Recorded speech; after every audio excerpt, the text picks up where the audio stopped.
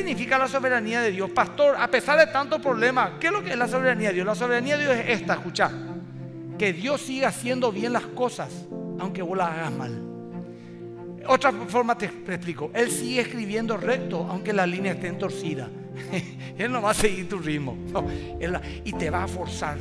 Y te va, porque Él te fuerza para bendecirte, imaginas. Entonces, la soberanía de Dios es esto. Que Dios quita lo mejor por su gracia de lo peor tuyo. Por eso dice el versículo, todo ayuda bien para los que aman al Señor.